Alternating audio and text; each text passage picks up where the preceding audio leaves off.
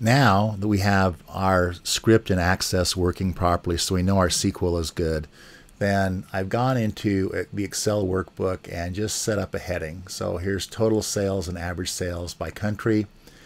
I put a button in here that we're going to hook up to our script. And then I just put some headings in here. These are the very same headings that were produced by the SQL script. And then, you know, the data will get pasted down here. So this is really the destination for where we're going. I've just given it a name. Uh, when I started off, it was just sheet one, but I just gave it a name uh, to make it a little bit more descriptive.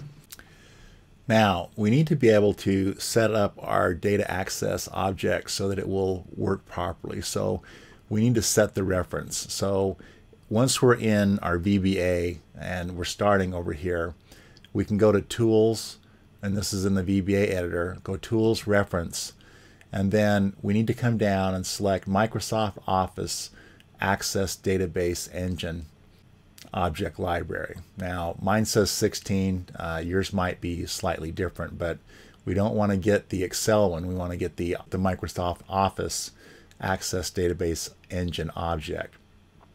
Mine wasn't initially set, and so I came in here and set it. So that needs to be set so that it'll be able to use that data access object to be able to get the data out of Microsoft Access. So we hit OK, and that's all set up. If you don't do that, then your script will not be able to go pull stuff out of Microsoft Access.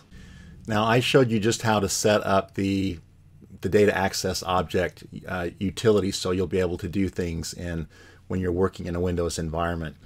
Microsoft does not provide a DAO for that will work with the Microsoft Office for Mac version.